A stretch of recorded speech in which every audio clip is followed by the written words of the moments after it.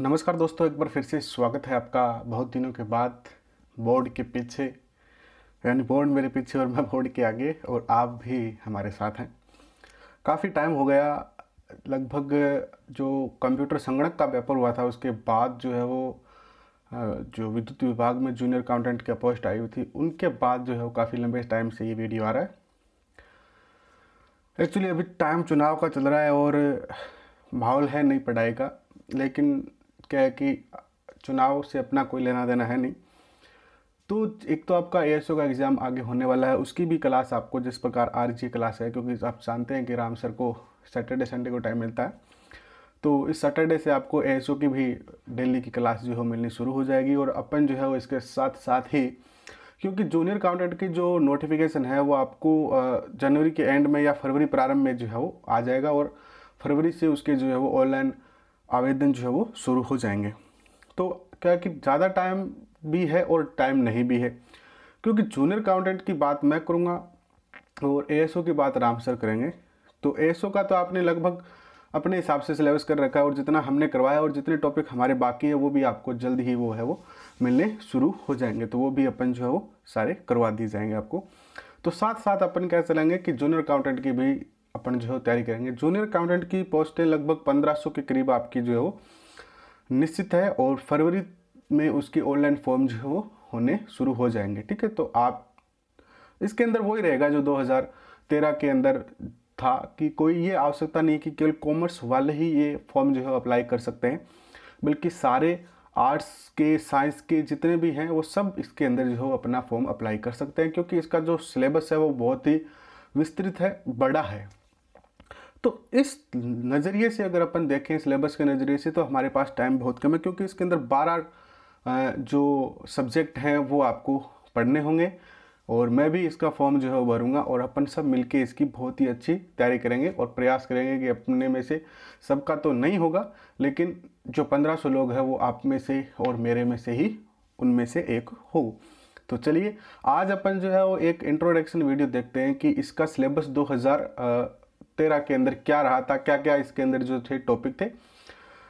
पहले अपन जो है बेसिक जो इसके कौन कौन से सब्जेक्ट थे वो देखेंगे, फिर उस सब्जेक्ट के अंदर कौन कौन से टॉपिक थे उनके बारे में भी अपन जानेंगे और पूरा सिलेबस आपको जो है यहाँ पे दो पार्ट में अपन करेंगे एक एक बुक को लेकर चलने वाले हैं।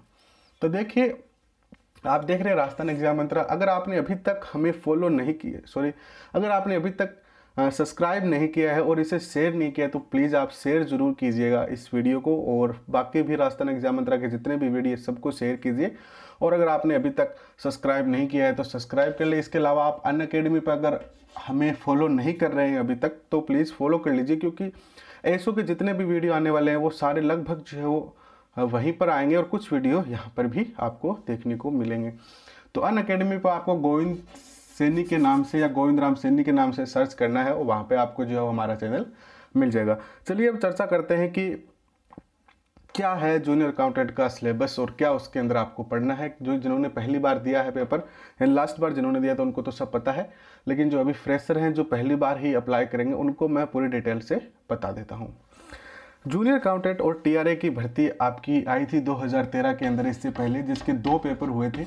एक तो हुआ था 2013 के करीब और वो फिर जो है वो पेपर क्या होगा 2013 में ये भर्ती आने के बाद एक बार पेपर हुआ तो वो लीक होने के कारण क्या है कि दो तीन जून की सुनवाइयाँ हुई केस चला और उसके बाद उसको जो है कैंसिल कर दिया। उसके बाद एक पेपर फिर हुआ और उसकी भी मेट काफ़ी ज़्यादा अप रही थी। लगभग सेवेंटी फोर के करीब जो है वो ओबीसी की मेरिट के करीब रही थी, जनरल ओबीसी की, ठीक है? तो मेरिट पिछली बार तो काफ़ी ज़्यादा हाई थी, लेकिन उससे पहले की बात करते हैं 2011 की तो उसमें मेरिट बहुत डाउन रही थी।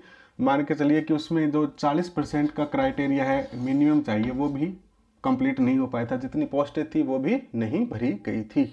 ठीक है? तो अगर आप कनिष्ठ लेखाकार यानी जूनियर अकाउंटेंट की अगर आप तैयारी करना चाहते हैं, पहले तो आपको ये बताइए कि वो मार्कर वाला सिस्टम रखें या ये ब्लैक बोर्ड और चौंक वाला सिस्टम रखें? आप बताना कमेंट करके। इसके अंदर आपके 12 सब्जेक्ट है। पहला सब्जेक्ट आपका हिंदी रहेगा, ये रहेगा पार्ट वन और ये रहेगा पार्ट टू यानी दो पेपर होंगे, दो पार्टों में होंगे। ठीक है? पार्ट वन के अंदर हिंदी आएगी, पच्चीस नंबर पच्चीस क्वेश्चन आएँगे, जो कि सेवेंटी फाइव नंबर के होंगे। अंग्रेज़ी की भी पच्चीस क्वेश्चन आएँगे, जो कि सेवेंटी फाइव नंबर के होंगे। राजस्थान जीके के अंदर, राजस्थान की history geography art and culture ये तीनों मिला के पच्चीस क्वेश्चन आएँगे।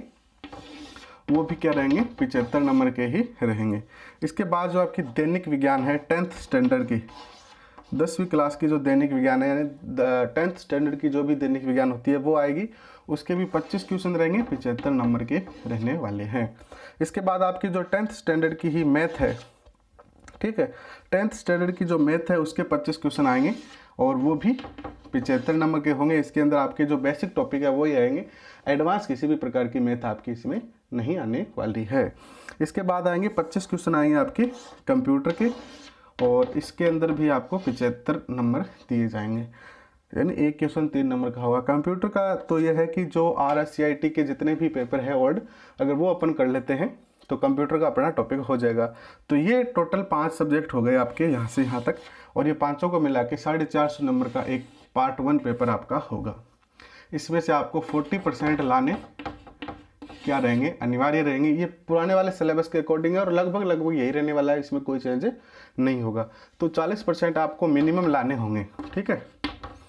तो ये हो गया, ये तो जनरल हो गया। तो ये जो पार्ट अपन करेंगे, वो आपके पटवारी में भी काम आएगा जूनियर अकाउंटेंट में आएगा और ये लगभग आपका पार्ट तैयार भी होगा ही। अब पार्ट सेकंड की बात करते हैं। पहला आता आपका बुक कीपिंग का, खाता बही का।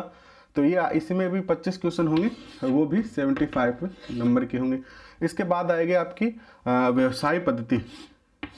ठीक है बिज़नेस मेथड वो भी 25 क्वेश्चन आएँगे 75 नंबर के होंगे।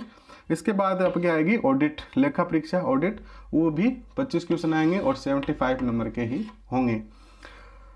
इसके बाद भारतीय अर्थव्यवस्था के 25 क्वेश्चन 75 नंबर के और राजस्थान सेवा नियम के 25 क्वेश्चन आएँगे।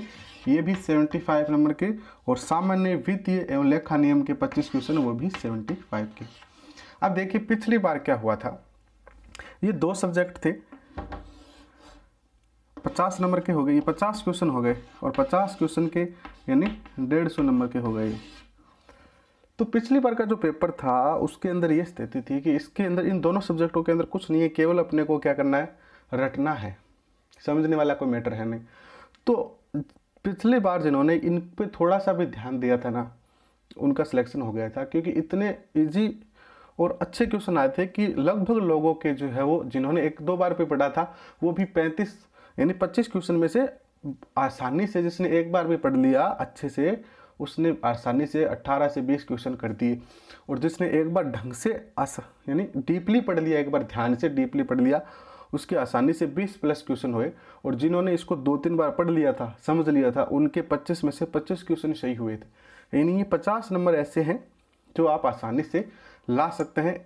इनमें कोई ज़्यादा आपको मेहनत करने की भी आवश्यकता नहीं है, केवल समझना है, दो बार पढ़ना है और ये ऐसे है, इसको आप छोड़ दोगे ना एक बार भी। जैसे आप आज इनको अच्छे से याद कर लिया, फिर छोड़ दिया एक महीने तक तो ख़त्म हो जाएँगे। इनका तो एक ही मेथड है, इनको ये पचास क्वेश्चन अटेंड करने का, यानी डेढ़ सौ नंबर आप डेली अपने पॉकेट के अंदर एक पर्ची रखो और उसको देखते रहो जब भी टाइम मिलेगा। तो ये आपके पचास नंबर तो श्योर हो गए, ठीक है? व्यवसाय पद्धति भी ज़्यादा कठिन नहीं आएगी, आसानी से हो जाएगी, और अपन सारे टॉपिक जो है पाँच सौ, ये भी साढ़े चार सौ नंबर के ही हो जाते हैं यहाँ पे। तो साढ़े चार सौ का ये और साढ़े चार सौ का ये तो पूरा नौ सौ नंबर का जो है पेपर आपका होगा। अब अपन जो है वो किससे शुरुआत करेंगे? पहले तो ये जान लेंगे आगे प्रत्येक टॉपिक के अंदर क्या है। तो वो जान लेंगे। इसके बाद अपन जो सबसे पहले शुरू करने वाले हैं राजस्थान के सेवा नियम। तो आपको जो नेक्स्ट वीडियो मिलेगा, वो राजस्थान के सेवा नियम से शुरू होगा। पच्चीस क्वेश्चन है, पिचहत्तर नंबर है। एक एक सेवा नियम को अच्छे से ढंग से, पूरा डिटेल से अपन जो है वो अध्ययन करेंगे कि कुछ भी रह नहीं जाए। आपको पूरा समझाया भी जाएगा। लास्ट टाइम मैंने भी जूनियर अकाउंटेंट के अपने तरीके से तो अच्छे से तैयारी की थी, लेकिन सिलेक्शन नहीं हो पाया। पिछड़ गए अपन। लेकिन अब की बार अपन नहीं पिछड़ेंगे। दो बार तैयारी की हुई है। अब की बार इतनी स्ट्रॉन्ग तैयारी करेंगे कि ज़रूर सिलेक्शन इसमें अपना हो। ठीक है? तो सबसे पहले अपन सेवा नियम की क्लास जो है वो शुरू करने वाले हैं। तो आप सब बने रहिए हमारे साथ। और अगर आपने सब्सक्राइब नहीं किया है तो सब्सक्राइब कर लीजिए। और कल से आपको जो है वो सेवा नियम की कंटिन्यू एक वीडियो आपको दिल्ली का यहाँ मिलेगा। और दूसरा वीडियो अपन दूसरी क्लास शुरू करेंगे राजस्थान वित्तीय एवं लेखा नियम की। तो इसके अंदर जो आपको कुछ वीडियो यहाँ यूट्यूब पे भी मिलेंगे, कुछ अन अकेडमी पे मिलेंगे तो आप संपर्क में रहिए। वीडियो देखते रहिए, आपको पूरी डिटेल मिलती रहेगी, ठीक है?